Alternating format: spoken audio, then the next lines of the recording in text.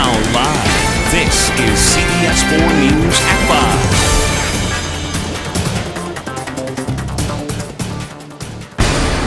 Now live, this is CBS 4 News at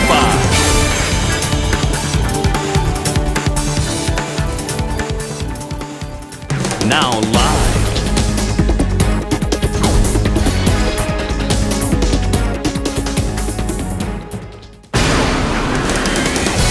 You're watching 4 News at 5. I'm David Bernard at Weather Control. Well, another day of wind, another day of showers. Could more be on the way? I'm watching a system over the Gulf of Mexico that.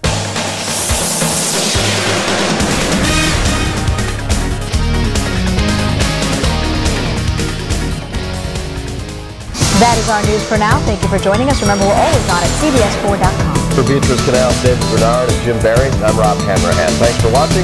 CBS 4 News is back tonight at 11 o'clock. Now here's the CBS Evening News with Katie Couric. Good night.